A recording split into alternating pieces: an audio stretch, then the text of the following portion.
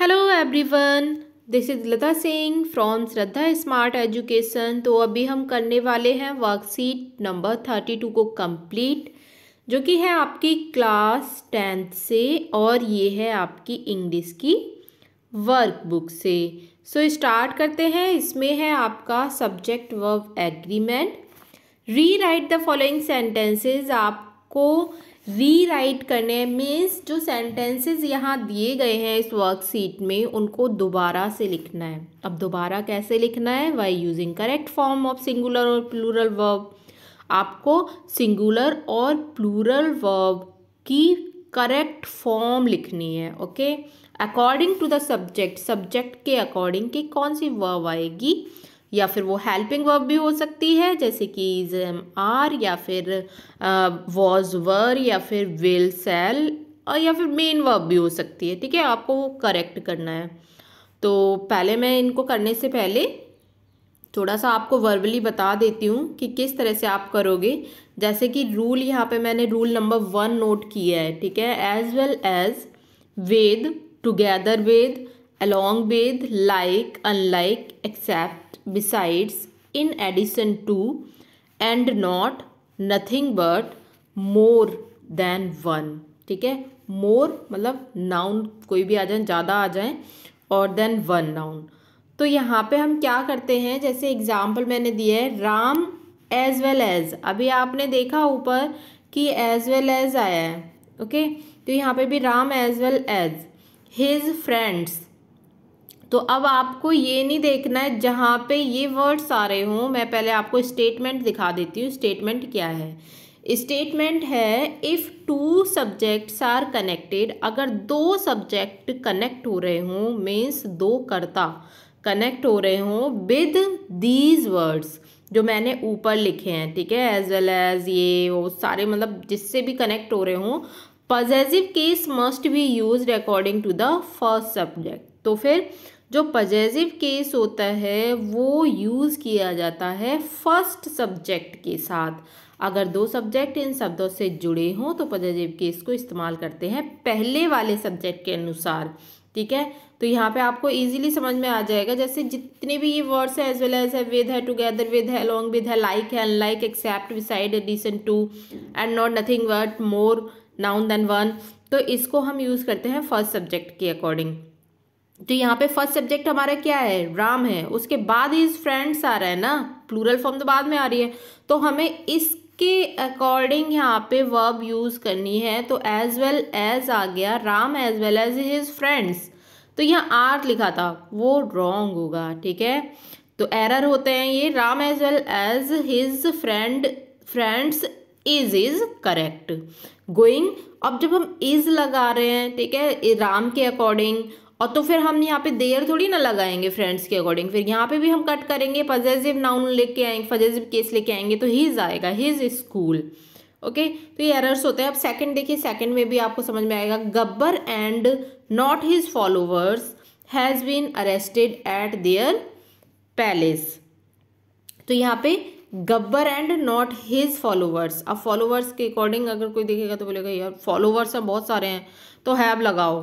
ठीक है, लेकिन हमें किसके अकॉर्डिंग लगाना है? फ़र्स्ट सब्जेक्ट के अकॉर्डिंग तो गब्बर हैज़ बीन ठीक है अरेस्टेड अब गब्बर के अकॉर्डिंग हम देर तो नहीं लगा सकते तो यहाँ पे हम हिज लगाएँगे पजेसिव केस में. नेक्स्ट एग्ज़ाम्पल से आप समझोगे her brothers no less than her father are strict अब देखो फ़र्स्ट केस हमारा क्या है? हर ब्रदर्स ठीक है ब्रदर्स ज़्यादा है तो हमने यहाँ पे आर लगाया. इट इज़ करेक्ट लेकिन हम कि, किसको लगाएँगे? फिर स्ट्रिक्ट टू हिज को कट कर देंगे क्योंकि ब्रदर नहीं है ओनली अगर ब्रदर होता तो हम हिज ही लगाते। अगर ब्रदर्स है तो दियर प्रिंसिपल्स ओके प्रिंसिपल या प्रिंसिपल वाला प्रिंसिपल नहीं है ये सिद्धांतों वाला प्रिंसिपल है।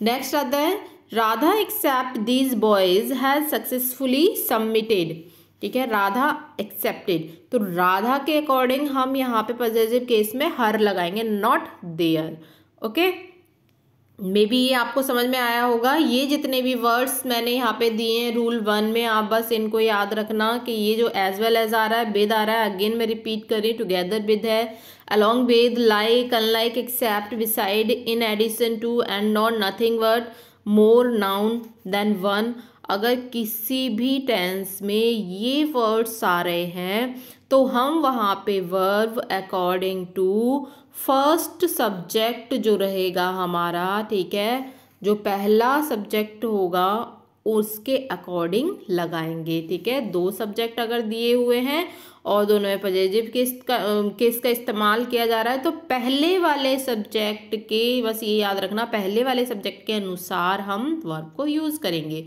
अब देखो रूल सेकंड में आपको समझा देती हूँ। नाइदर नॉर आइदर और not only but also none but और नॉर ठीक है, ये वर्ड्स भी आपके आते हैं तो इसमें क्या होता है? इसका स्टेटमेंट आप देखो। If two subjects are connected अगर दो सब्जेक्ट को सब्जेक्ट मीन्स होता है कर्ता, दो कर्ताओं को एक साथ कनेक्ट किया जा रहा है, जोड़ा जा रहा है। विद दीज वर्ड्स जो मैंने अभी आपको बताए हैं, इन शब्दों के साथ नाइदर नॉर आइदर और not only but also not none but और नॉर इनके साथ। तो क्या होता है? Possessive case should be use according to the subject तो पजेसिव केस जो है, वो यूज़ किया जाता है सब्जेक्ट के according that is nearest to the verb जो नियरेस्ट हो वर्ब के। ठीक है? वर्ब के नियरेस्ट हो तो उसको हम मतलब वहाँ, उसको यूज़ करते हैं अकॉर्डिंग टू नियरेस्ट वर्ड के, ठीक है? वर्ब हो तो यूज़ किया जाता है। जैसे कि अभी आप एग्ज़ाम्पल से समझोगे, यहाँ देखो पहले आयदर यू और योर ब्रदर ठीक है? आयदर यू अब यू के साथ अगर हम लगाएँगे तो हम हैव लगाएँगे बट यहाँ हमें ये नहीं करना है। हमें नियरेस्ट वर्ब देखनी है ठीक है?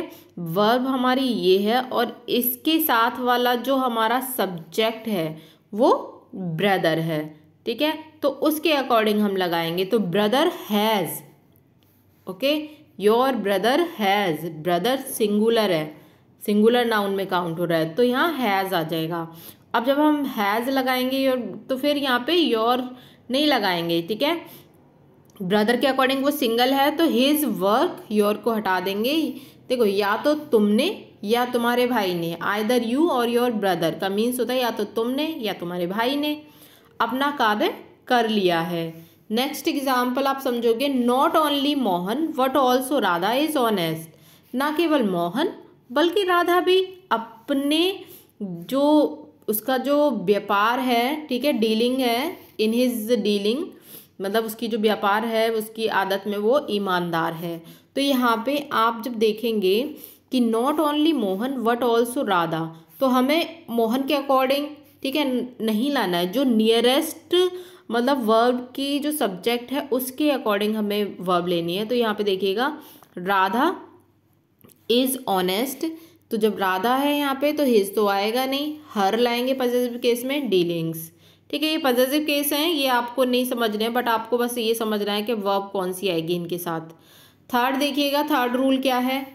Any one either neither none each every okay as a pronoun जैसे कि either plus of plus noun ये प्रोनाउन आ जाएगा. एज एन एडजेक्टिव एडजेक्टिव में हमारा क्या आ जाएगा? जैसे कि वाइट किसी की विशेषता बताई जा रही है. ठीक है, वो सफ़ेद है कलर में. नाउन हमारा शर्ट हो गया. जैसे शर्ट सफ़ेद है.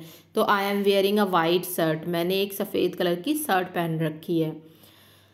यहाँ पे देखिएगा ही सी एट ठीक है? थर्ड पर्सन है ये।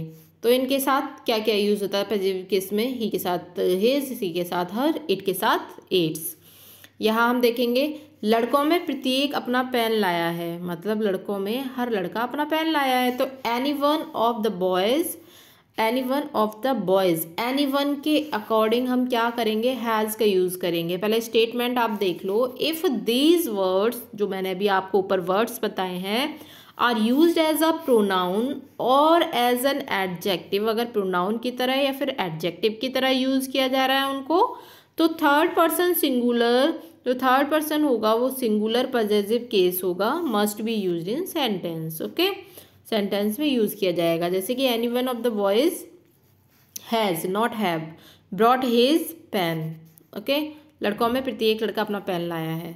Next either of us can save ठीक है अवर मनी अवर नहीं आएगा। Neither of us can save his या हर मनी थर्ड पर्सन आपको यहाँ पे यूज़ करना है।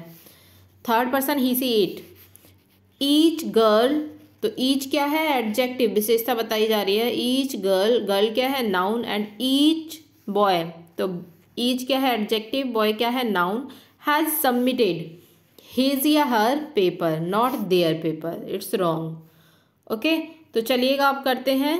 वर्कशीट को कंप्लीट आई होप कि आपको कुछ ना कुछ तो इससे ग्रास्प हुआ होगा। कुछ ना कुछ तो मिला ही होगा। समझ भी आया होगा। चलो करते हैं। फ़र्स्ट वाला देखो।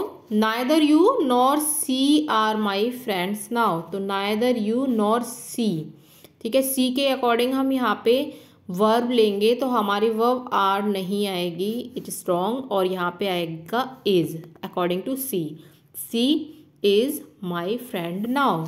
Second, the furniture of all the classrooms are very old and weak तो the furniture of all the classrooms तो फर्नीचर क्या है? फर्नीचर के अकॉर्डिंग हमें यहाँ पे वर्ब लेनी है आर नहीं लेना है इज़ लेना है okay very old and new weak and weak अब थर्ड देखिए time and tide waits for none wait यहाँ तो अलग ही दिख रहा है कि हमारी जो ये वर्ब है वेट करना, इंतज़ार करना, प्रतीक्षा तो वहाँ वेट्स आएगा okay time and tide waits for none it's correct fourth either your teacher और your parents is responsible for your failure तो आइदर योर टीचर और your parents are okay parents are responsible for your failure next है हमारा the doctor as well as मैंने बताया ना either और अगर आ रहा हो तो वहाँ पे जो नियरेस्ट मतलब जो हमारा, हमारी वर्व है, उसके अकॉर्डिंग जो सब्जेक्ट है, वहाँ हम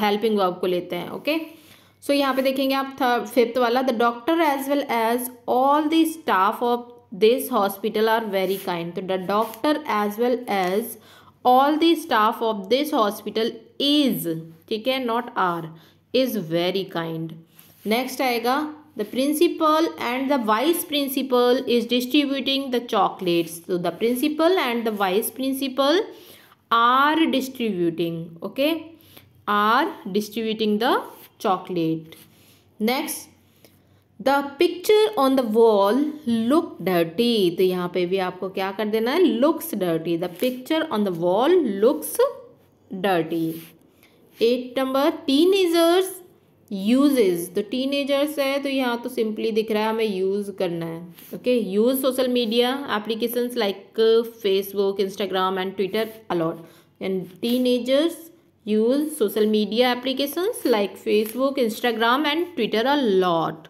तो ये वर्कशीट आपकी कंप्लीट हो गई है। आई होप आपको समझ में आया होगा। तो ज़्यादा से ज़्यादा अपने फ्रेंड्स के साथ भी शेयर करें इस वीडियो को। और if you are new on this channel तो प्लीज़ सब्सक्राइब भी कर लें ओके okay? अगर आप न्यू हो तो। कमेंट्स भी करें। कैसी लगी आपको वीडियो अगर कुछ मिस्टेक होती है तो वो भी आप मेंशन कर दिया करें कमेंट में, ठीक है? क्योंकि कभी कभी ऐसा नहीं है कि मैं भी मतलब पूरा अच्छे से बोल देती हूँ कभी कभी बोलने में भी मिस्टेक हो जाती है, ठीक है? Thanks for watching